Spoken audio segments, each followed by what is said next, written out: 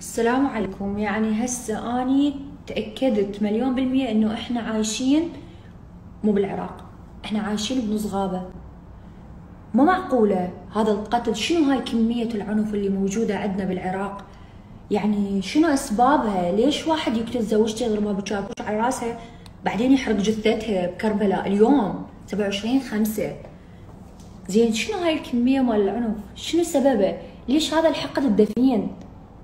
لو واحد قاعد بالبيت لو قلة حركة لو ماكو شغل لو دخل محدود لو فقر لو بطالة هاي كلها نعرفها وكنا عايشيها.